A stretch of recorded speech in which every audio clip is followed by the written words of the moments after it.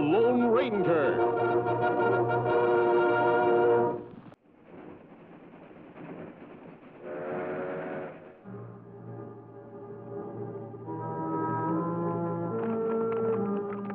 Ah, this here spot ought to be all right, Clint.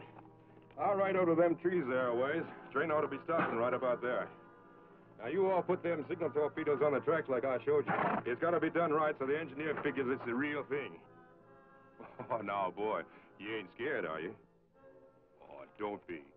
You just do like I told you, and you'll be all right. I'll have that Yankee in my rifle sights just like I've been planning, for both of us. You and me's gonna get even, Clint. That's the way we want it, ain't it? For what they done to us? Yeah.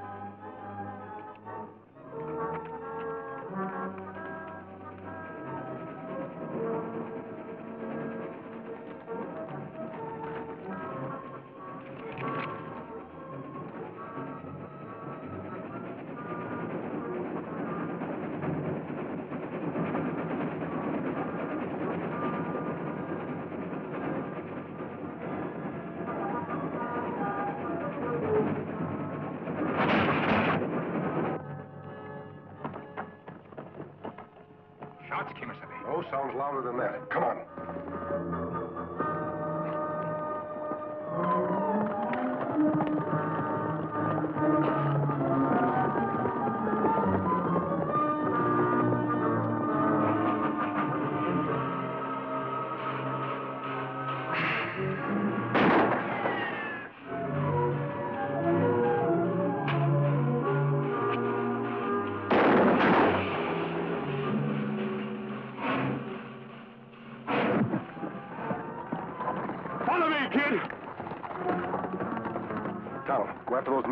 try to stop the train.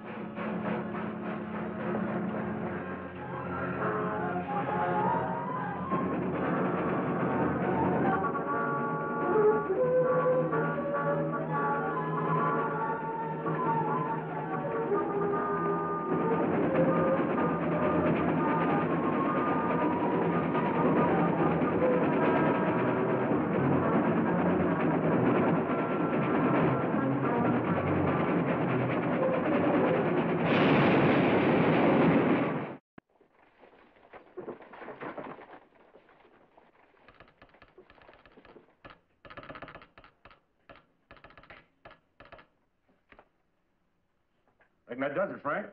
Anything else you all want to put in the report to the Home Office? No, that should take care of it. Well, put Hank Rowe in the cab on number seven. Tell him to get it started. We're behind schedule already. Yes, sir. Well, Tonto, what'd the doctor have to say? The engineer not hurt bad. Him be all right. Well, thank heaven for that. Whoever those men were, they meant business. That attack was well planned, even to using signal torpedoes to stop the train. Oh, it's probably some disgruntled passenger not satisfied with the service I've been giving. You're a brave man, Frank, and your war record proves it, but this is no laughing matter. I know that, my friend. I appreciate your concern. But I've been shot at too often to be frightened now. Besides, I've got a railroad to run.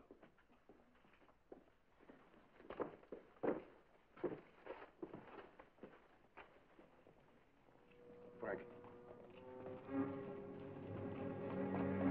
Win Harkey. What's wrong, Kemo Sabe? trouble just rode in, Tonto.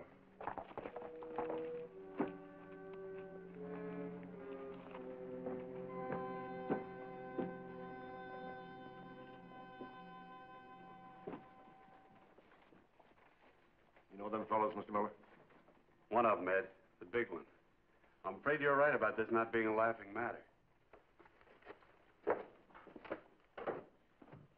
Harkey plenty bad, Kemo Sabe. You want me to watch hotel? Yes, Tonto. If they head this way, warn us immediately. And you say Harkey was one of Quantrill's raiders? One of the most vicious of the pack.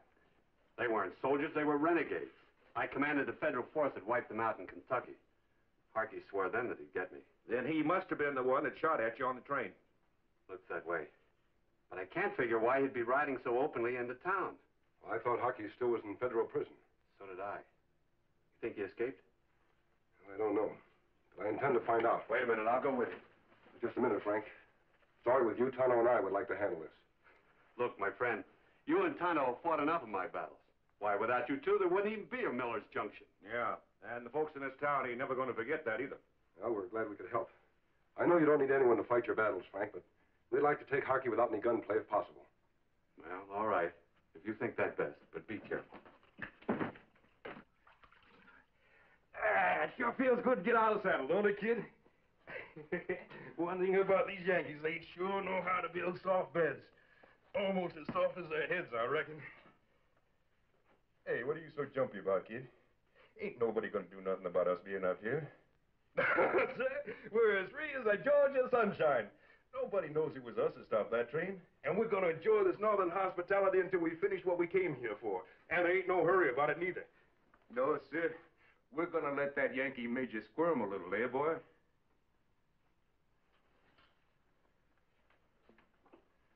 You all right? Ain't nothing hurting you, is there? Move easy, Harkey. Ain't that exactly what you'd expect in a Yankee town? Busting in on a couple of peaceful men? What's on your mind, boys? If you come to rob us, you're out of luck. We southern fellas are real poor. We haven't come here to rob you. Then what are you here for? Just checking. You're a long way from prison, aren't you? That any of your business? Escape criminal, our business. You're working on the wrong information, men. I've been released.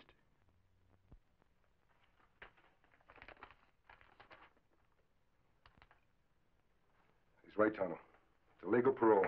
Then why you come here? Any law against a man riding where he wants? This peaceful town, Harkey. Due to the efforts of Frank Miller. Miller? Who's Frank Miller? Let me refresh your memory. It's the major that captured you when you rode with Quantrill. That right? He's here in town? Well, what do you know? It's a small world, ain't it? Someone tried to kill him just this morning. Well, looks like a lot of people don't like Yankees, huh, Clint? Clint and me here hates them. We hate them deep down and always will for what they've done to us. The war is over, Harkey. Frank Miller only did what he had to do as a Union officer. And now that's very nice. Me and Clint here's gonna do what we gotta do, too. It's peacetime now. Men have to forget their differences, work together. I don't agree with what you did with Quantrill. You're free now. Give yourself a break. Forget the past. I ain't never gonna forget the past. And I ain't gonna let him forget it neither. What about you, son? What hold is this man over you? He? My brother, that's what. Is that any reason to make him like you? Maybe he thinks differently. Uh, Clinton and me thinks the same on everything. What about it, son? He ain't gonna answer you, mister. He ain't gonna answer nobody ever. A Yankee's bullet took care of that. Went clean through. He's been in the hospital ever since the war, and from now on, he's thinking and feeling just like I tells him to. Ain't that right, Clint? Other men suffered from the war, Clint. Men on both sides. That's how war is. But that's no reason to carry your hate. What do you want him to do? Thank him? Maybe he should get down on his knees and say, Thank you, Mr. Yankee. Much obliged for shooting my throat to bits so I can't talk. I don't suppose there's much that'll change your mind, Harkey. Hate like yours runs pretty deep. But don't try to drag your brother down with you. Give him a chance. Like the Yankees did, maybe? They fixed him up good. They fixed him up so he ain't fit for nothing. Can't talk, can't hold down a job. He's just plumb useless, to himself or to anybody. Useless. If it weren't for me, he might just as well be dead, and he knows it. That's not true, and you know it. He's got two good arms, two good legs, and a mind. You bet your life he has, and he's going to use them, too. Doing just what I tells him to. And you'd better tell it to him straight. If anything happens to Frank Miller, the both of you will answer to me.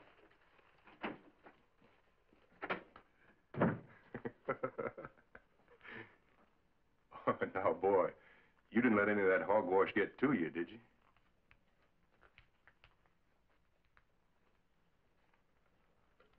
Look, Clint, you and me's gonna do all right. And I ain't gonna let nothing happen to you if you just do like I tell you to. You hear? You all hear?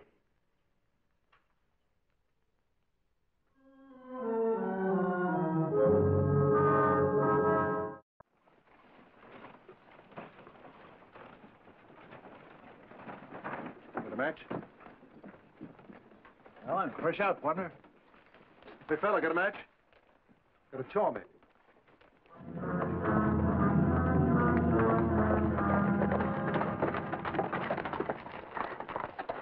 Where you from, stranger?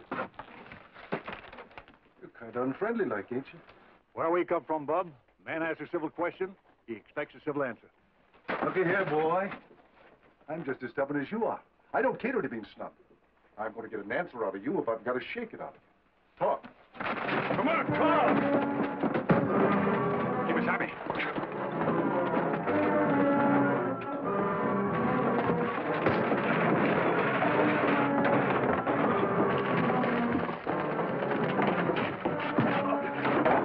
Hold it, mister.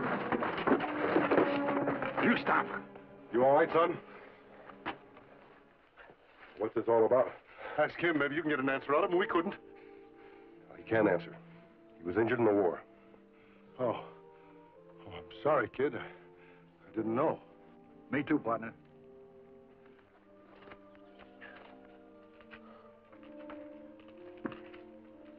Don't think too harshly of them, Clint. It was thoughtless, but not intentional. I'd like you to do me a favor. I want you to give me a chance to prove that your brother is wrong. I want to talk to you alone. No, your brother doesn't have to know. We'll meet just east of town by the big tree. I know you've had a tough time of it, Clint. But you've only lost your voice, not your reason. I think I can help you if you'll only give me a chance. He won't let you nothing, mister. Not if I got anything to say about it. You just leave him alone. We don't want nothing to do with you, do you hear? Come on, kid.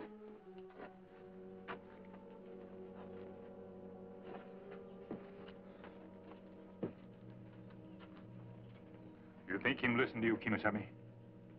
I hope so, Tonto. I'll know this afternoon.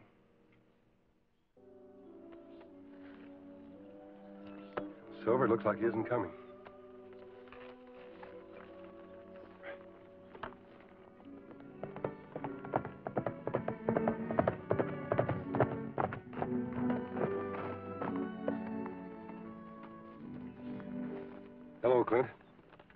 Glad you decided to give me a chance. I'm going to try to show you a few things. All you have to do is look. The decision is yours.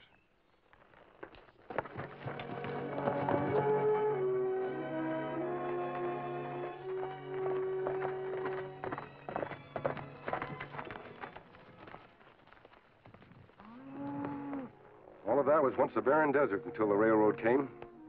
The railroad brought people, machinery, tools for making things grow. Frank Miller was the man behind the railroad here. Built some of it with his own hands, some of it with borrowed money, all of it with his heart. He worked shoulder to shoulder with men who were once his enemies.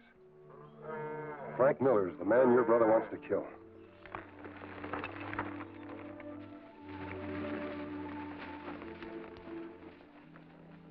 See those two ranchers there? I met them once. One of them was a Confederate captain, the other a Union corporal. They've forces now in a common cause. Feed their families and to rebuild a torn country. It's the same everywhere, Clint. Hatred and bitterness brought tragedy to this land. Now, with God's help, goodwill and tolerance are repairing the damages. Those fires were made by good neighbors. Yanks, Rebs, working together for the good of all. It's the only way, Clint. Believe me. Clint. Just one more thing. There's someone in here I want you to meet. Oh, Frank. I'd like you to meet a friend of mine, Clint Harkey. Clint, this is Frank Miller, the man I was telling you about. Pleased to meet you, Clint. I'm Sorry with you, Frank. I'd like to show Clint around a little. Not at all. Glad to have you. Thanks. Hey, that's our signal, and Ned isn't here to take the message. Say, my friend, you... Clint, you know Morse code? Might be important, son. Take it down.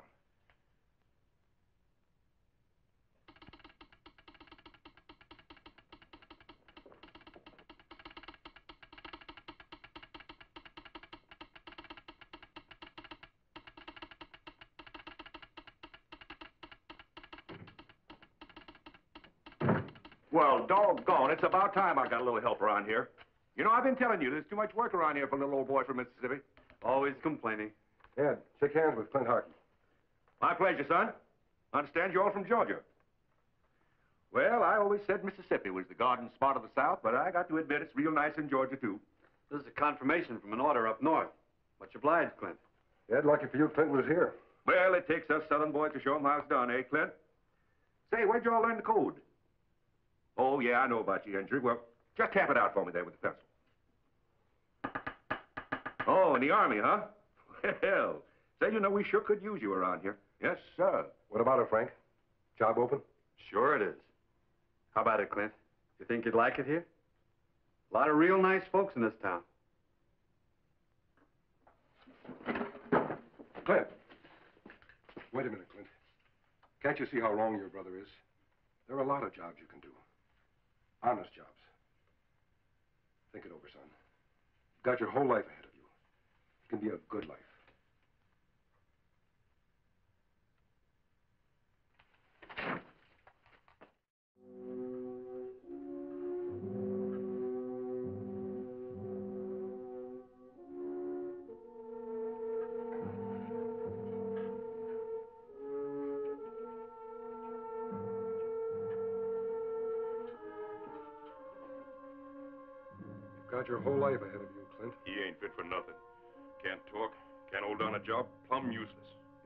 Your voice, not your reason.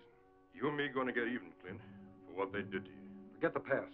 Forget the bitterness. He can't do nothing. It can be a good life. Can't do nothing.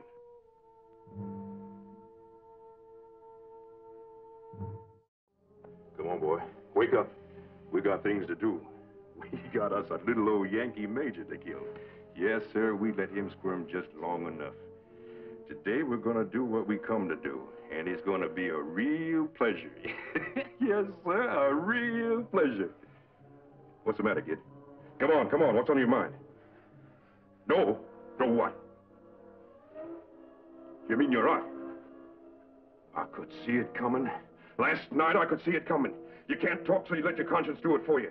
Well, let me tell you something. That masked man may have put a bug in your ear, but you can bet your life it ain't contagious. That Yankee major's gonna get himself killed today. And you, mister, you better get your horse and ride out of town fast. Why, you...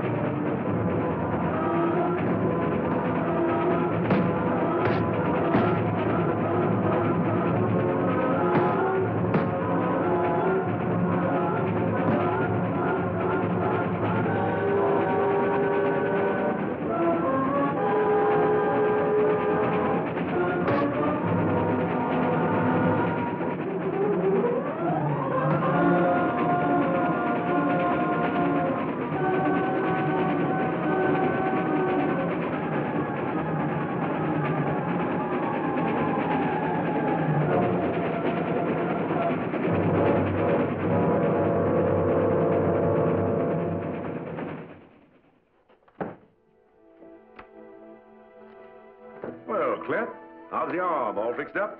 I told the doc to do an extra special job on him. Got to take good care of my employees. We're sorry about your brother, son. But you know, a man just can't live with bitterness like that. We've got a big job ahead of us here, Clint. I'm very glad you're going to be part of it. And you're going to have a lot of friends from now on, too. And you know something, Ed? I think I know who's going to head the list. The Lone Ranger.